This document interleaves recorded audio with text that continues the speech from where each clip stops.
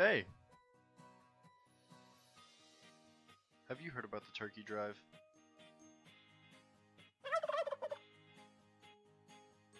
You haven't? Well, it's a way for our schools to help families without turkeys for Thanksgiving. All you need to do is bring a turkey to the front of Fort Zumwalt West High on November 14th from 6:30 to 8:30 a.m. Thanks, and I hope to see you there.